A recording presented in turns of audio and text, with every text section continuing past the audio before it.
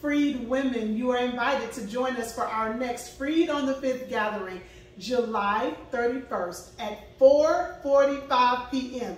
Let's do old school church. Repeat after me, 4.45 p.m. Listen, we're going to do a good old fashioned tea party plus girl chat. We're going to do some games just to get to know one another and then have some real conversations about things that matter to all of us as women, as entrepreneurs, as moms, as wives, trying to figure out our purpose. We're going to talk about all of that. But hear me, girls.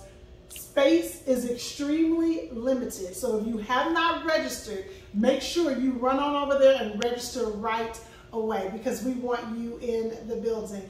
Did you say 445? 4.45 p.m. July 31st. Listen, it's already paid for. So if you register, girl, we need you to be in the building.